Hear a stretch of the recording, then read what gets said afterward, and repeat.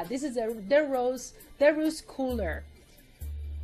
So this is a cooler that can transport up to 35 cans and besides looking great, it has some really cool features. So for example, it is waterproof, leak proof, and it's completely sealed so that it's going to maintain the cold for up to 72 hours. You can put up to 35 cans plus ice. You can put food. Uh, you can put grocery shopping. It has airtight, leak-proof it's a, it a closing system with a zipper and the exterior is TPU. It's an exterior with TPU, which is also waterproof. It's leak proof,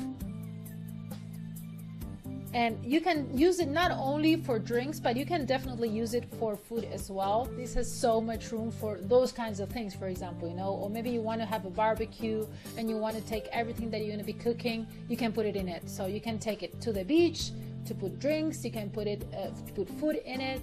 It has two handles on the sides or if you want you can have another handle just put it over your shoulder as well. Really great quality guys. This is the DEROOS cooler with large capacity